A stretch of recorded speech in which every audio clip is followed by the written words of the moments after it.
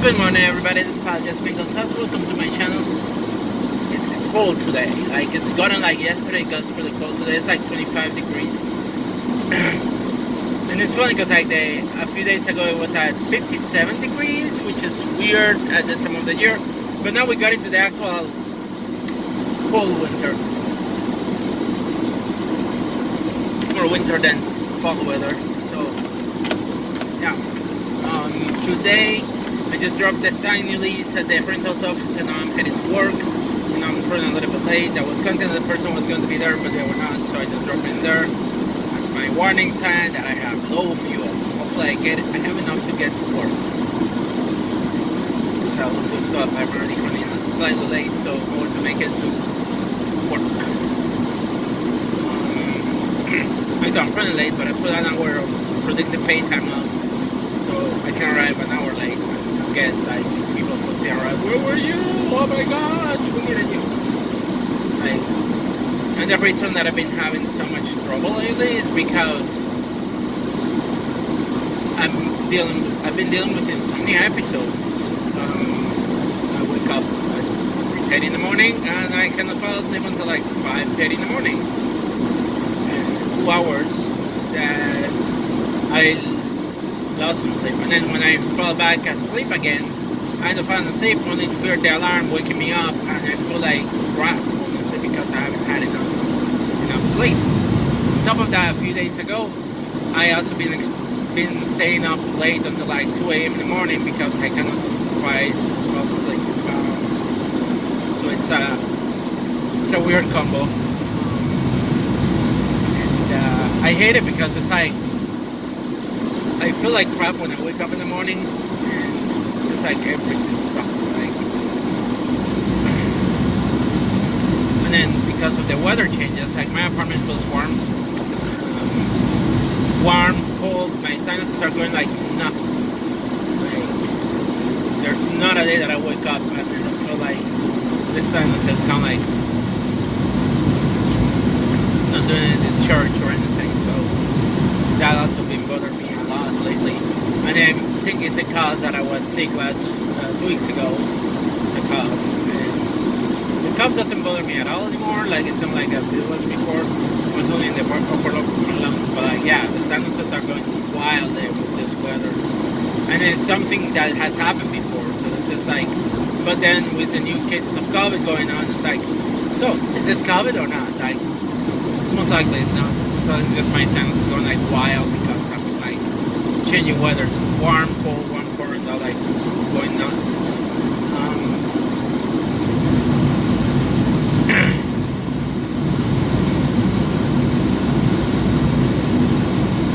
so yeah, that's what's going on. Um, doing okay so far. I finished moving most of my stuff from storage today. I finished moving the rest of my storage, things from storage, and I already the bookcases, I already been organizing things, you know, and uh, that way doesn't the apartment doesn't that organized. But I like the bookcases that I put in my apartment; they look adorable. Um, I will still see if I discard and get rid of more books in the coming weeks, um, which I'm going to probably end up taking to the donation bin in Albany, in the Albany Public Library, just because um, I don't need to keep that many books need them. I'm not working as an engineer at all. Like, what's the point of keeping those books, you know? So, definitely I'm getting rid of a lot of stuff probably in the next couple of days. Um, not days, weeks, you know, but that's what I'm doing. I'm, di I'm ditching a bunch of stuff. I'm also thinking about ditching uh, some of the common cards that I have of Yu-Gi-Oh! just because they are common and nobody's going to probably purchase them, so yeah. There used to be a time that I would purchase like a gigantic box of Yu-Gi-Oh cards. Like, like whenever a new expansion come in, I would purchase a box of it, and you know, and I got a bunch of commons. So some some cards I will keep, others I think I'm just going to like bye-bye cards. Um, those only cards I'm still debating what I'm going to do with them. I think I'm going to try send them to a friend of mine. I'm not playing with them I haven't played the game in a while, but I'm going to keep probably one or two decks that I like. Most likely The Undertaker and maybe Triple H deck, which are my favorites. And um, keep some of those cards. But all the other cards, they're going bye-bye. Because, again, I don't need them. I don't use them. I don't play with them. So, it's might be best to like I don't care if I lose money in the process, you know. Like if I could sell them, I would sell them, but I don't know how long that will take for me to sell them. the same as the books. I'm going to try to check if I can sell some books online, but if I can't sell them and not get a good price for them, I will just donate them, you know. That's going to be the way to go because it's, it's way too much money. It's too much money that it's consider way too much money. It's just like I don't I don't have the space for things. You know, I've been keeping things for too long, and I just I just don't want to. I'm da- I want to downsize my life, my my things, so that way I have less things if I need to move in the near future, which usually happen because I live I live here. I don't have a family. I don't have my parents and all that kind of stuff. So if rent goes up and I cannot afford it because my income has increased, I have to move. Or if I have to move to different place, so, or the one that I'm thinking more, if something were to happen to my parents in Puerto Rico, I don't know how I will have to deal with the situation. Probably have to go to Puerto Rico, that's one. Two, I may have to find a way to I don't know if I will move it down there, you know. So that's the other, the other thing. but for now, I am glad that I'm ditching the storage unit. It's one expense less that I will have to worry about. I'll have money that I can use for other things. That's the key here, using money for other things. Eventually, I only have like nine payments left on my car. So once I finish paying off my car, that will be another expense that I will not have to worry about. It's a private maintenance, and I know the maintenance is quite high for the car. Um, the amount of mileage that I have in the car, and I also need to start thinking whether I'm going to get a new car or not. But I don't want to get a new car yet. But the maintenance costs are probably going to start increasing with this car as I get like it's more than five years that I'm working this car, so definitely it's going to I may have to invest more in maintenance, and it doesn't get cheaper; it will get more expensive. So I have to take that into consideration too. But we'll see what happens. You know. Um, but those are decisions, and then I have to s- depend on my income. So like my income is not too high, I cannot do a lot. You know. Unfortunately, like uh, being honest, it's like I work at Walmart and I I'm making ends meet, which is not that bad, but it doesn't give me a lot of money. I I need something different that is not Walmart. You know, I want something different that is not Walmart. Something that give me more money. Um, it's sad to to depend on a job that uh, like but like I know I can be doing something different and something more challenging and I'm not you know I'm just working at Walmart and the highlight of my day is when a customer says excuse me where's the sugar? Oh thank you so much. That's that's my highlight of the day. Um,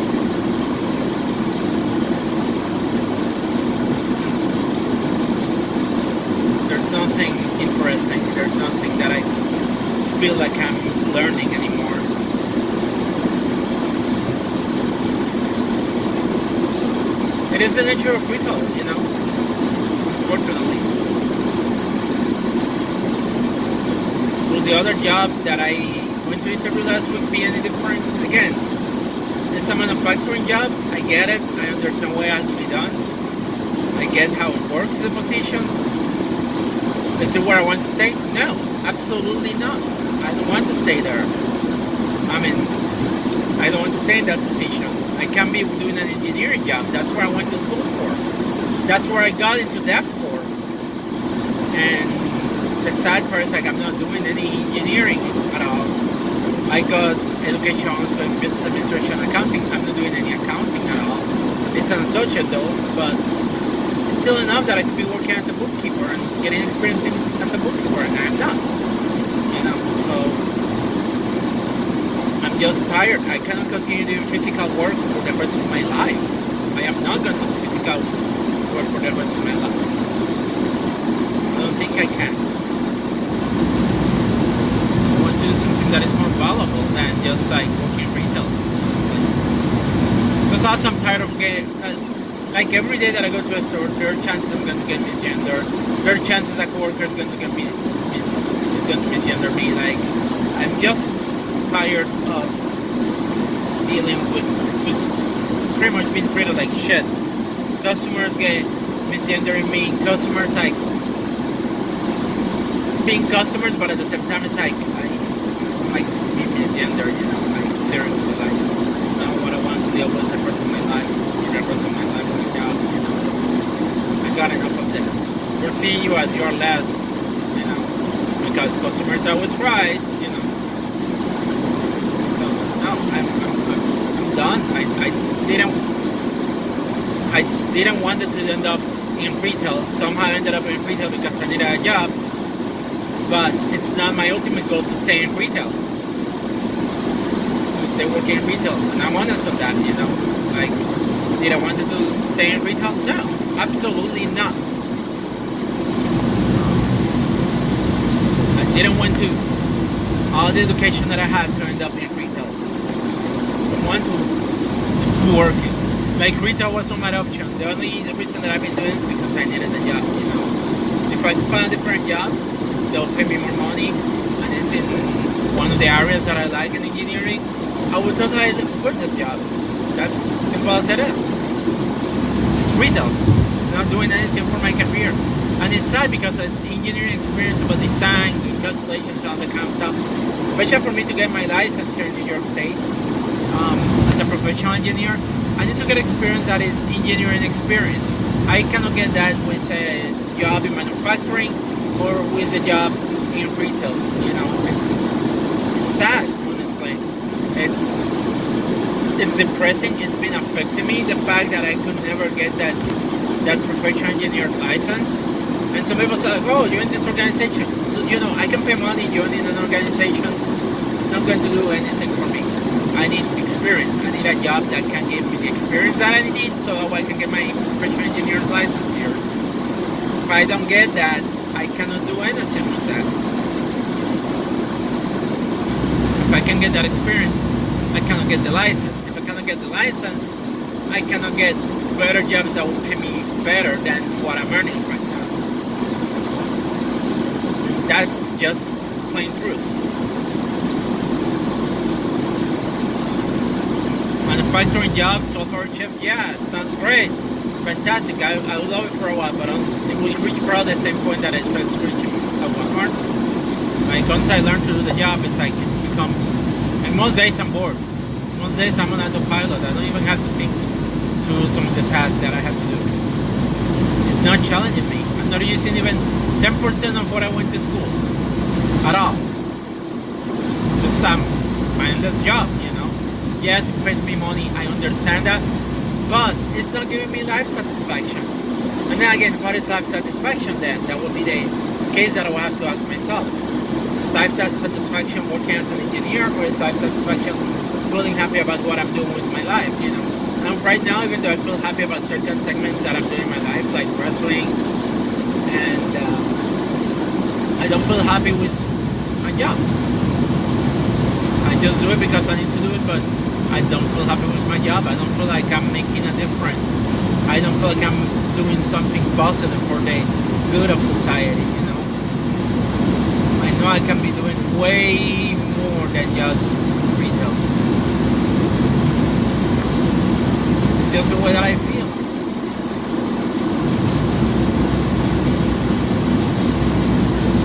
But for now, I have to do that. Do the job not like I don't do it at work. I do my job at work. You know, I work hard when I have to work hard. I go and do the job that needs to get done. You know, I, it's just not conducive to anything that else. And so maybe if I say the story, I become a coach, you know. But